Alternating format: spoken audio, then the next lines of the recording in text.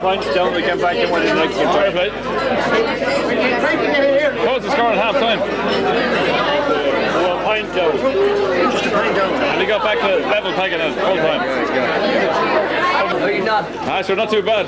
Well done, boys. Fair play to yourself. Well done, Martin. I don't know how to read the show now. Look at the stadium.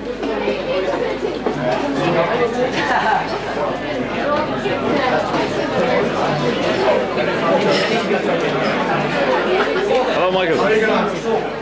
Martin McNamara here, team captain.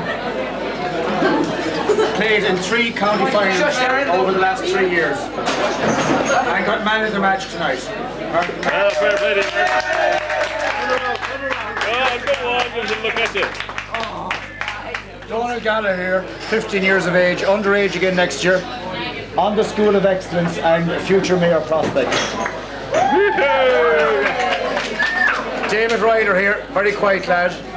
He scored, he scored, he scored 10 points tonight. I repeat that. 10 points. Wow. What an English, what a Curry. Captain of the Mayo under 16 team this year. And probably one of the main reasons we won tonight. Thank you. Well done. Dennis Paxi McNamara, midfield, an outstanding game in the semi-final against Crossmolina, and equally outstanding tonight. Well done, Dennis. Michael, Gallagher here from Achill Sound. Michael is another member of the Mayo School of Excellence under 15 and another fine prospect. And a great game tonight. Well done, Michael. Full back the under 14 team last year. Played right half back today, entire day of the on. This night, in from Spain for the match tonight. Andrew Sunlight, Sean Grealis, underage again next year as well. Sean Grealis delivered, played in goals for us early on, played out Fane in one or two matches. Excellent sub, underage again next year. Conor McGinty got the Michael goal in extra time tonight. Conor was an old Trafford last weekend to see Man United play, but he reckons tonight's match was much better. Andrew Fadgen, Andrew's a, a very, very fit player, as you can see. The, the ball might pass Andrew, and the man might pass it, but they both won't pass together. Good man, Andrew. Who are we up here? Paul, Paul Gallagher, Dookinella, didn't get an opportunity tonight, but he's underage again next year and had a few excellent games for us. Jerry Cafferty. When you go out into the bar, you'll see a big, big man. That's Jerry's dad. And if Jerry grows as big as that, he'll definitely be playing for Mayo. Centre half back tonight. Man, Jerry. Excellent. Spent three or four weeks in England during the year, missed a few matches.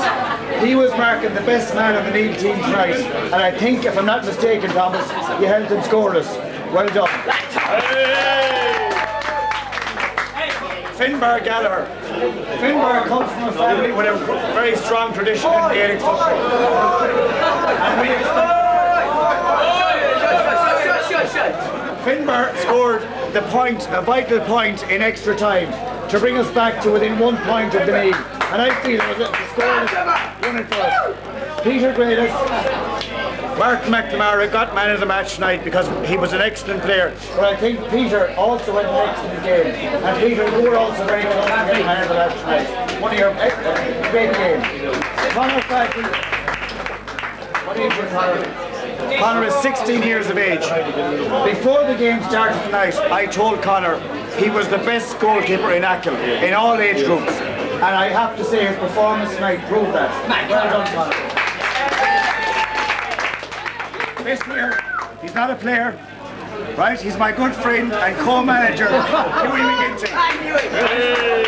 And I have to say, Shane, to win anything, you have to have two men on the sideline that get on well together. And myself and Huey are definitely that. Stephen McGinty, early on in the year, I wasn't available for all the matches.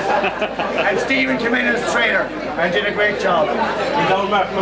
Club chairman, Hacky McGinty. And I have to introduce you to Anne here, co-treasurer in the club. And that's about them all. Right, Jim. Okay, great stuff. Thanks very much, Michael. Thank you very much. Hey!